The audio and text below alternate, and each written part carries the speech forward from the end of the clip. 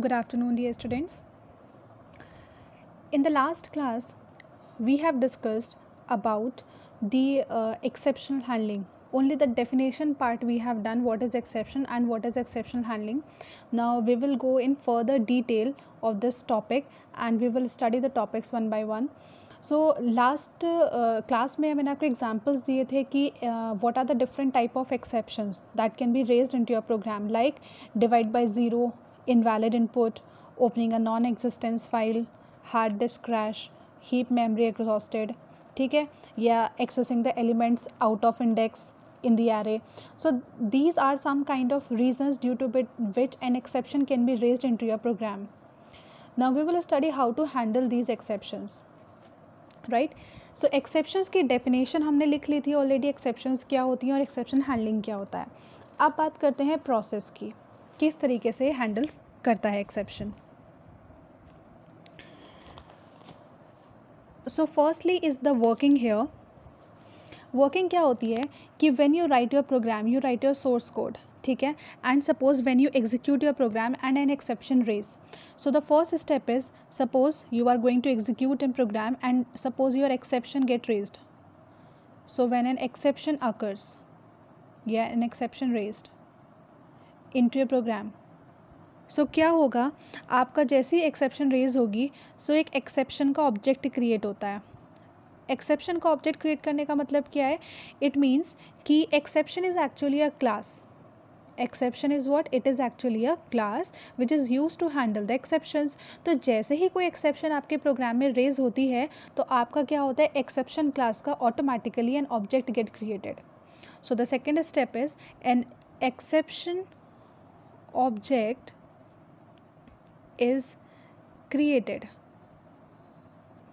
जैसे ही एक्सेप्शन का ऑब्जेक्ट क्रिएट होगा द ऑब्जेक्ट क्या करता है? It stores the information related to your exception that means object contains the information about the type of error किस टाइप की एरर है in which line the error is in which method this exception raise and what type of exception it is. That means object contains all the information related to your exception raised into your program. ठीक है? तो जैसे ही हमारा exception object raise होता है तो हमारे पास एक जे आर ई होता है। जे आर ई का मतलब जावा रन टाइम एनवायरमेंट होता है आपका एक, जो कि क्या होता है? उसका वर्क होता है एक्सेप्शन को डील कराने का। तो when your exception object will get created so that object will get hand over hand over it to runtime system. That means to jre hand over it to runtime system. ठीक है?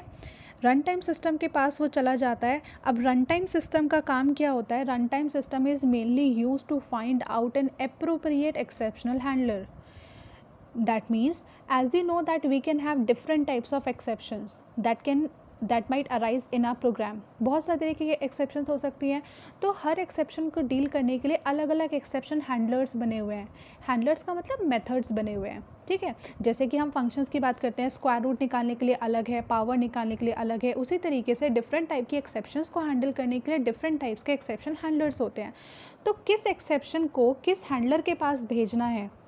That is decided by J R E that means your Java run time system तो Java run time system क्या करेगा?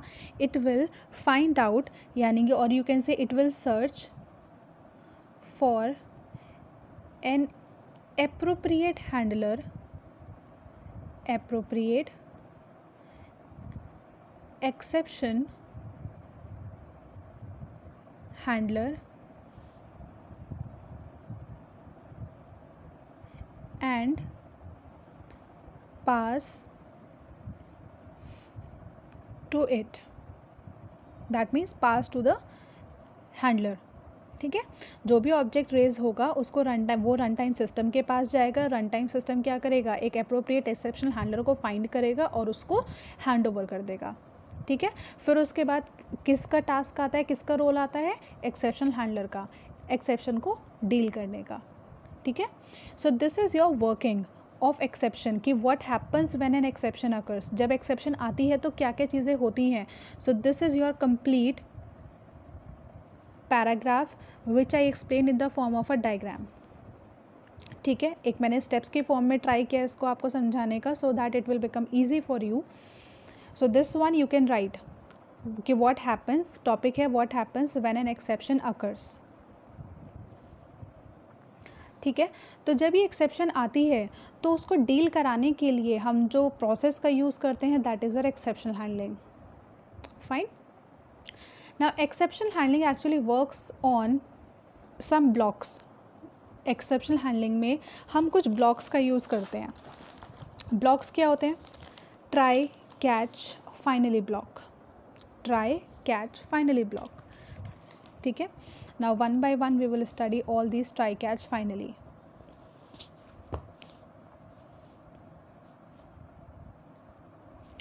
Now write it. Exceptional handling is achieved by write it in, in your notes in your copy. Exceptional handling is achieved by the use of is by the use of try T R Y try comma catch and and finally block is achieved by try catch and finally block. Fine. Now one by one firstly give this subheading as try block. Give the heading here try block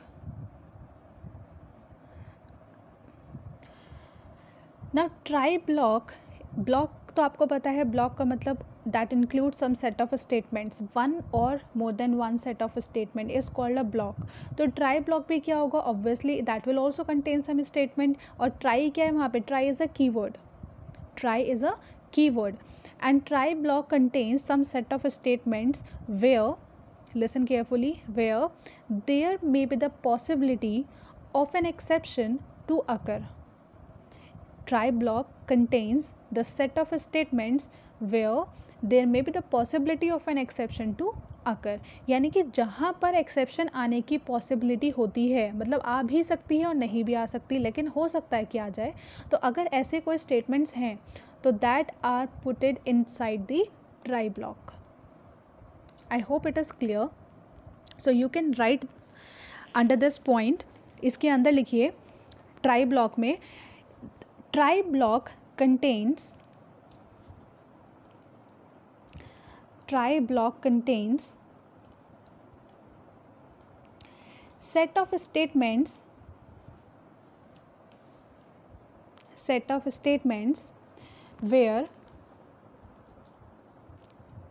where there may be the possibility where there may be the possibility of an exception of an exception to occur where there may be the possibility of an exception to occur. Fine. For example write the example कैसे use करते हैं आप इसको? For example we write a key word try then we put the opening bracket and here the closing bracket in between some statements will be there and I am going to write it by the comment statement statement और statements ठीक है statements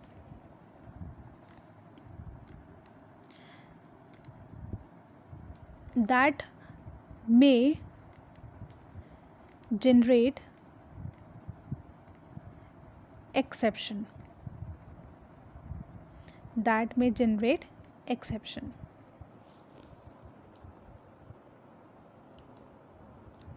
ठीक है this is your try block now write the next one b point b subheading B subheading catch block. Catch block.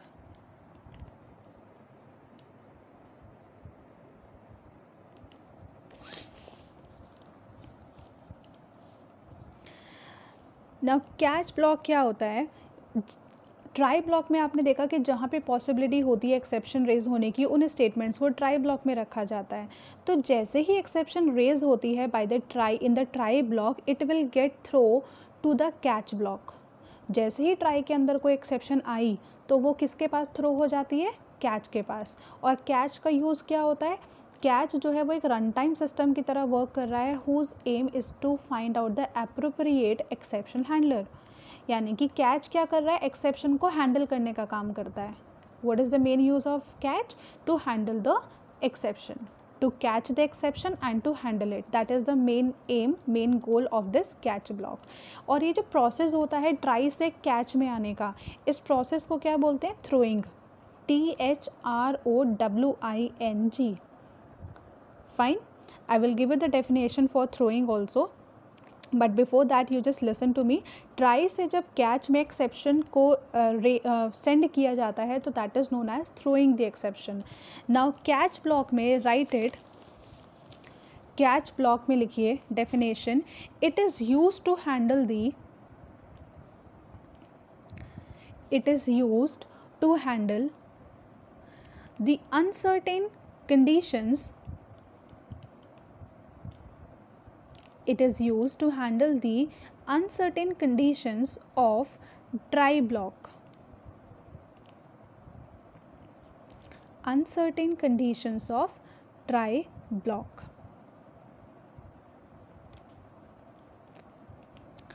Full stop. A try block is always followed by a try block see you will not get the proper notes in your book related to this chapter so write each and everything whatever i am dictating to you don't think that everything is already there in the book so you will read out from the book चीज़ें बहुत सारी given है book के अंदर आप notes नहीं बना पाओगे इसलिए मैं डिक्टेट कर रही हूँ यहाँ पे so make proper notes a try block is always followed by a catch block a try block is always followed by a catch block comma.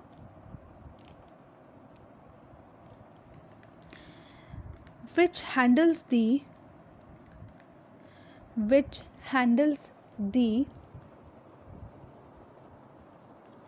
exceptions which handles the exceptions that occurs that occurs in associated try block that occurs in associated try block. Now look at the syntax of it. How do we make it? Catch block. So define करने के लिए we use a keyword catch and here we will create the object of it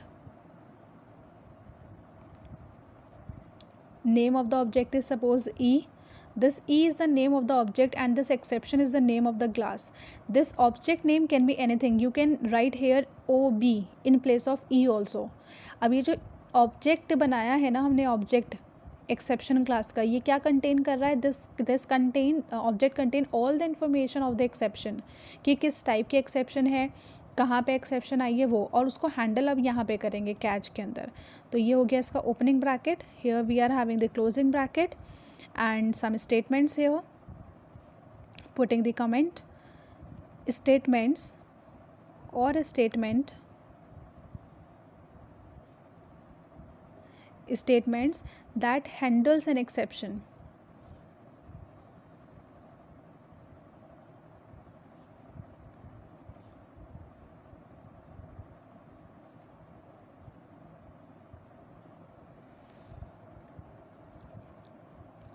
Write it.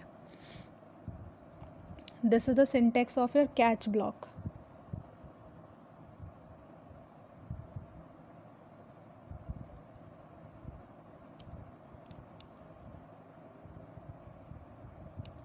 Clear हुआ? अब catch block के अगर आप second statement पढ़ोगे so मैंने आपको लिखवाया है कि a try block is always followed by a catch block यानी कि ट्राई ब्लॉक के इमिडिएटली बाद में क्या आना चाहिए? Just immediate to it catch block must appear it means what कि जैसे ही आपने ट्राई बनाया यहाँ पे तो ट्राई क्या करता है? इट कंटेन्स सम स्टेटमेंट्स जहाँ पे एक्सेप्शन की पॉसिबिलिटी होती है। तो इसके जस्ट बाद में क्या होना चाहिए? कैच होना चाहिए। ट्राई और कैच के बीच में कोई अदर स्टेटमेंट नहीं होना चाहिए। यानी कि ट्राई और कैच क्या होते हैं? लिंक होते हैं एक दूसरे से। तो इनके बीच में कोई स्टेटमेंट नहीं आ सकता। ठीक है? And for single try they can be multiple catch एक ट्राई के लिए एक से ज़्यादा कैच भी हो सकते हैं। जैसे कि हमने एक कैच ब्लॉक बनाया, इसी के नीचे मैं ओपन करके एक और कैच ब्लॉक्स बना सकती हूँ। उसी को फिर करके एक और कैच ब्लॉक बना सकती हूँ। मतलब multiple catches I can have but at least one catch must be there to handle the exception तो one try block must be followed by the catch block by one or more catch block then the next one is your third one C part C part लिखो. Try we have done catch we have completed next is your finally block finally block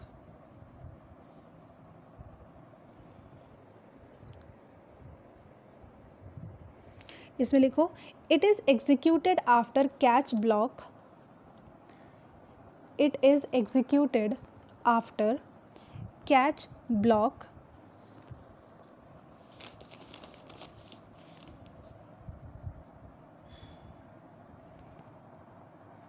it is executed after catch block यानी कि catch के बाद में ही आता है। ऐसा नहीं कर सकते कि पहले ट्राई लिखा, फिर फाइनली लिख दिया, फिर कैच लिख दिया।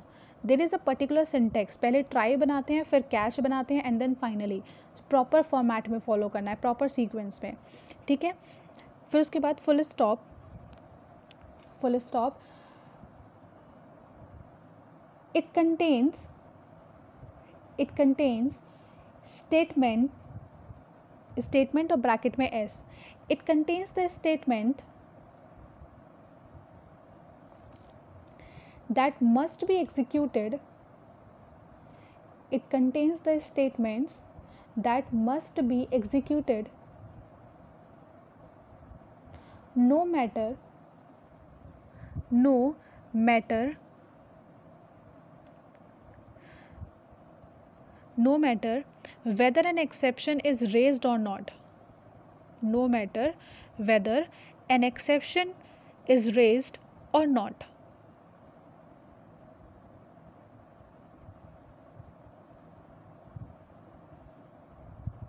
Full stop. It means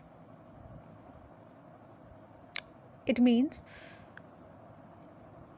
finally block always performed. Finally block always performed. Regardless of regardless of whether an exception is signaled or not. Regardless of whether an exception is signaled signaled look at the spelling signaled or not ठीक है अब बनाइए finally block how to make it so use the keyword finally and here statements Write it statement और statements. ठीक है? That will always execute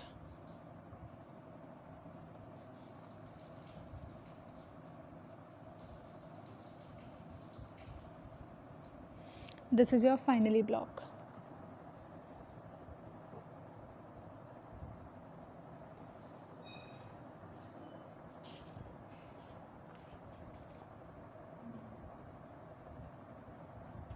ठीक है? So at a time one catch remember one more thing at a time one catch can handle can handle only one exception handle one exception at a time. if you want to handle multiple exceptions then you then you need to write multiple catch block एक से ज़्यादा exception को अगर आपको handle करना है तो आपको उतने ही number of catches क्या बनाने पड़ेंगे अपने program में बनाने पड़ेंगे ठीक है so here we have completed our exceptional handling and uh, how to handle it using try catch and finally block we have discussed the uses of all the three types of block now we are going to discuss one uh, question a very small question or example you can say related to the exceptional handling so आपको पता है कि exception क्या होती है? जैसे हम बहुत ही ईजी से एग्ज़ाम्पल पहले करते हैं कि divide by zero exception now divide by zero exception जो होती है that falls under the category of arithmetic exception जब हम किसी नंबर को ज़ीरो से डिवाइड करते हैं so during the compilation time it will not signal any error but what will happen when you will execute it at that time exception will get raised so it is a type of exception अब इन exception को read uh, uh, मतलब deal uh, कराने के लिए आप कैसे लिखोगे? तो इसका एक एग्ज़ाम्पल देख लीजिए। So write it here public class suppose I am going to take handle handle underscore exception handle underscore exception you take as a class name ठीक है? Opening bracket then your public static void main then suppose I am going to take your three numbers as A is equal to ten B is equal to five C is equal to five and one is result result के बाद put है semi colon now अब आप देखिए, आप जो operation perform करा रहे हो, कोई ऐसा स्टेटमेंट है कि जिसमें एक्सेप्शन की पॉसिबिलिटी है? ऐसा कोई एक्सेप्शन अब हमें क्या करना है? नंबर डिवाइड करना है। तो उस स्टेटमेंट को आप रखोगे ट्राई ब्लॉक के अंदर। So make it here try opening bracket अब जहाँ पे मैं डिवीज़न ऑपरेशन परफॉर्म कर रही हूँ, हो सकता है कि मुझे ऐसा लग रहा है अगर कि यहाँ पे पॉसिबिलिटी है एक्सेप्शन रेज होने की तो उस पर्टिकुलर स्टेटमेंट को you will put inside the try block so I am going to write it here A divide B minus C and because I have taken here यहाँ पे हमने खुद से ली है फाइव और फाइव ताकि एक्सेप्शन रेज हो. ठीक है? तो बी की वैल्यू फाइव सी की value five five minus five कितना हो जाएगा? ज़ीरो यानी कि जो डिवाइज़र है वो आपका हो गया ज़ीरो और ए की वैल्यू कितनी है? टेन तो टेन डिवाइड बाई ज़ीरो हो गया. यानी कि एक्सेप्शन है. तो ये कंपाइल टाइम पर तो शो नहीं करेगा but at the run time it will show ठीक है? रेस उसके बाद ट्राई को हमने कर दिया close write up to here then I will rub this part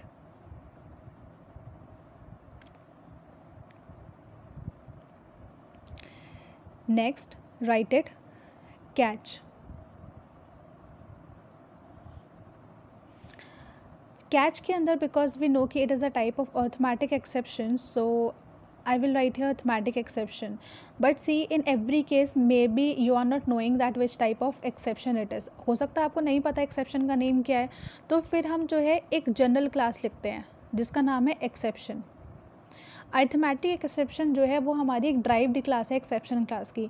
लेकिन जितनी भी एक्सेप्शंस होती हैं, वो सब कहाँ से ड्राइव होती हैं, उनकी भी एक बेस क्लास होती है। उस बेस क्लास को बोलते हैं एक्सेप्शन क्लास तो अगर आप सिंपली लिख दोगे ना कैच और ब्रैकेट में आपने लिख दिया एक्सेप्शन ई तो मतलब वो हर टाइप के एक्सेप्शन से डील कर लेगा। लेकिन अगर आप पर्टिकुलर कोई एक्सेप्शन का नेम ले रहे हो तो वो सिर्फ़ उसी एक्सेप्शन से ही डील करेगा। ठीक है?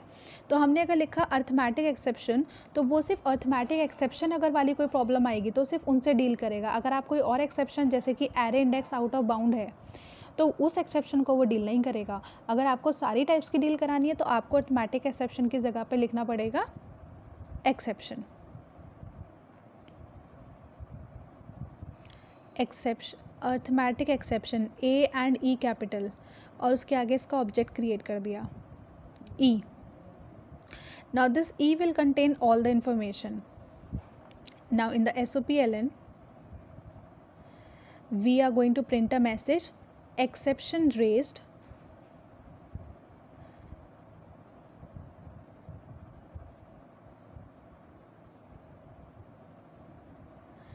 and SOPLN plus of E. तो ये जो ई e होगा एक्चुअली आपकी जो भी एक्सेप्शंस आ रही हैं उन सबको प्रिंट करा देगा कि कौन सी लाइन के अंदर एरर आ रही है, क्या एरर आ रही है, कौन से मेथड के अंदर आ रही है, वो सारी एक्सेप्शंस आपको प्रिंट करा देगा। ठीक है? उसके बाद catch will get closed then after the catch the next step is what to make the finally block make it here finally final नहीं होता है it is finally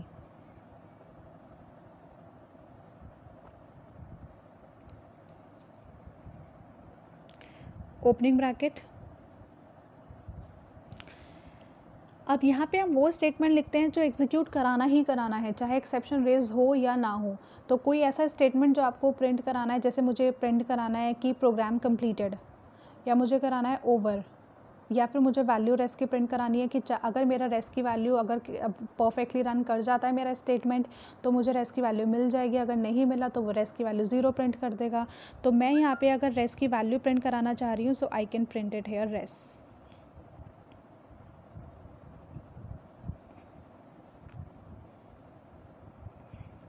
यहाँ पे लिख लेना res I don't have space ठीक है? Finally close फिर फाइनली क्लोज़ किया, फिर आपने यहाँ पे मेन क्लोज़ किया एंड देन क्लास क्लोज़ किया।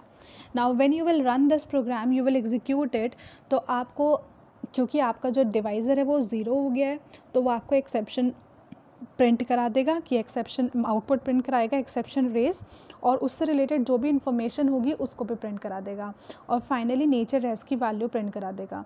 तो रेस की वैल्यू अगर कैलकुलेट होगी तो वो वही एक्चुअल कैलकुलेटेड वैल्यू प्रिंट करेगा otherwise it will print zero और इनिशियली आप देख लेना रेस की वैल्यू आपने ऊपर ज़ीरो दी थी कि नहीं दी थी। अगर नहीं दी है तो वहाँ पे, जहाँ पे हमने लिखा था ना A is equal to ten B is equal to five C equal to five comma res is equal to make it zero there if I forgot to write make it correct and write there res is equal to zero ठीक है? So this is your example here we have done next is write the definition of throwing try catch और finally हम कर चुके हैं। Next is throwing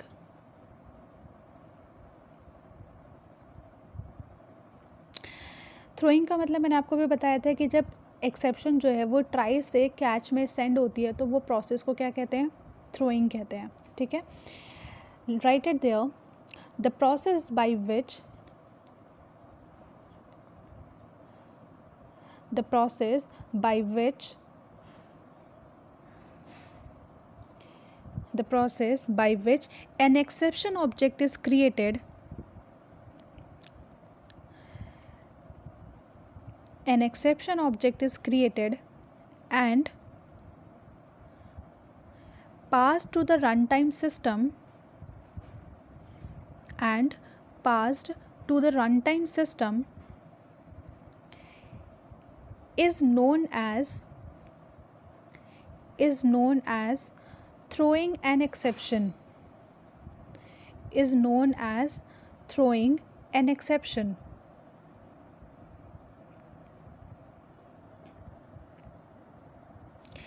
next you write next definition catching catching catching का मतलब क्या होता है कैचिंग का मतलब to that means to find out the appropriate exceptional handler to handle that exception raised अगर आपको प्रॉपर एक्सेप्शन हैंडल मिल गया, उस प्रोसेस वो जो हम सर्च करते हैं ना अप्रोप्रिएट हैंडलर फाइंड आउट करने का, उस प्रोसेस को एक्चुअली कैचिंग बोला जाता है। ठीक है?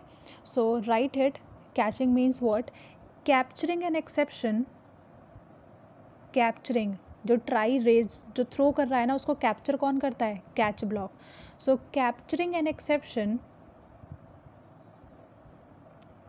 that has just occurred, capturing an exception that has just occurred, and and executing some statements and executing some statements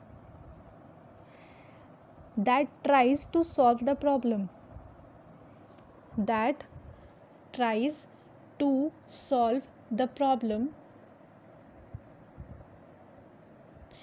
is known as, is known as catching, is known as catching.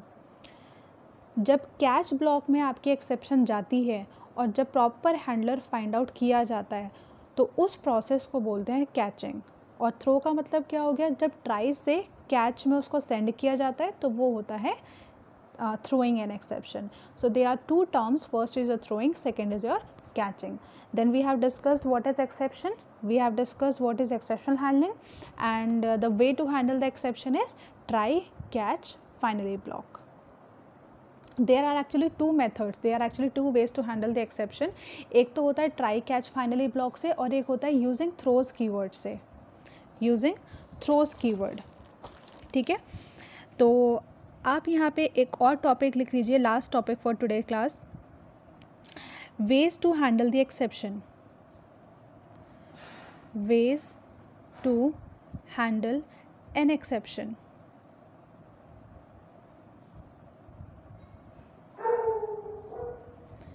now they are two ways to handle the exception first is by using try catch finally block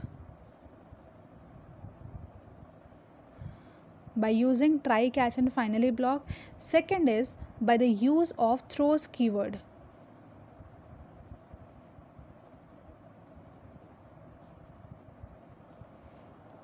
using throws keyword तो first method तो already हम कर चुके हैं try catch और finally block के लिए उसके बाद आप सेकेंड मेथड लिख लीजिए give the heading throws keyword give the heading throws keyword.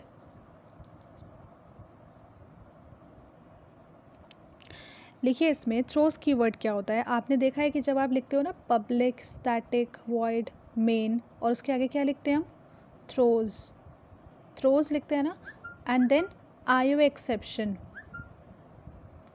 throws I way exception like that so throws keyword क्या होता है? When we do not use try catch जैसे अभी तक आपने ट्राई कैच नहीं पढ़ा था तो आप क्या लिखते थे? थ्रोज कीवर्ड लिखते थे ना?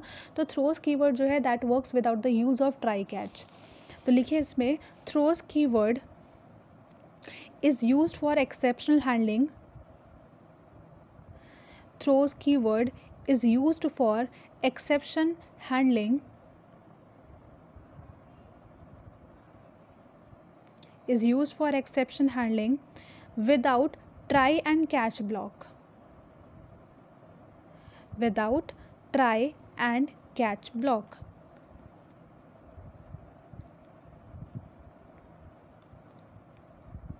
Full stop. It is used it is used to it is used to handle system defined exceptions. It is used to handle system defined exception system defined का मतलब होता है जो एक्सेप्शंस पहले से बनी हुई हैं। जैसे कि मैंने आपको एग्जांपल्स दिए थे ना लास्ट वीडियो में, वो सारी किस टाइप के एक्सेप्शंस हैं? सिस्टम डिफाइंड तो उस टाइप की एरर्स को डील करने के लिए हमारे पास हम कौन सा कीवर्ड यूज़ करते हैं? थ्रोज कीवर्ड तो throws keyword is mainly use to handle the system defined exceptions full stop it specifies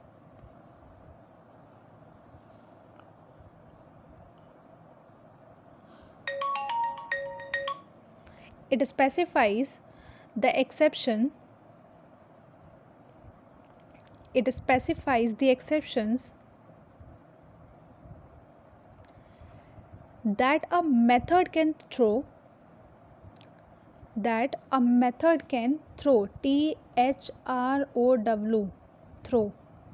It specifies the exceptions that a method can throw to the caller to the caller and does not handle itself.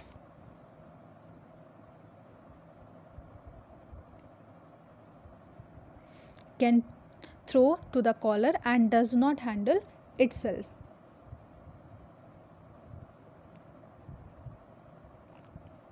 ठीक है? Example आप ये वाला लिख सकते हो public static void main this and this and in between some statements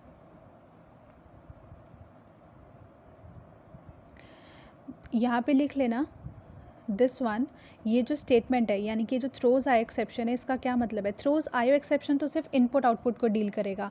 अगर आपको सारी टाइप्स के एक्सेप्शन से डील करना है so you will write only exception throws exception only write this much और इसके बाद इसी में एरो बना के लिख लेना ऊपर। यहाँ पे एरो बनाना इस तरीके से थ्रोज एक्सेप्शन के ऊपर। और इसमें लिख सकते हो indicating that indicating that if an exception occurs, indicating that if an exception occurs, comma it will automatically report it to if an exception occurs it will automatically report it to error handler error handler या फिर exception handler भी लिख सकते हो report it to error handler or processor or processor इसका मतलब user is not responsible now. अब handle करने का काम अगर यूज़र करेगा तो वो तो ट्राई कैच करके लिखेगा, ठीक है? लेकिन अगर आपको ट्राई कैच ब्लॉक से नहीं करना है तो आप थ्रोज कीवर्ड के थ्रू करते हो। तो उस केस में क्या होता है कि जो प्रोसेसर होता है या एक्सेप्शन हैंडलर होता है, that is responsible to handle the exception, not the user. User responsible नहीं होता, ठीक है? And if in case, suppose आप ये स्टेटमेंट ही नहीं लिखते हो किसी भी मेथड के आगे आपने स्टेटमेंट नहीं लिखा। That means if a method has no throws clause if a method आप नोट में करके लिख सकते हो कि if a method has no throws clause then then the method can not pass or throw any exception then the method can not pass or throw any